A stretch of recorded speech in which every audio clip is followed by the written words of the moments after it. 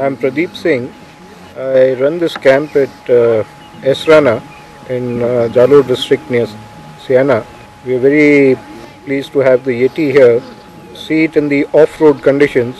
The terrain here is a good mixture of uh, dunes and soft sand and dry riverbeds. Last two days I've been fortunate enough to try it under these various conditions.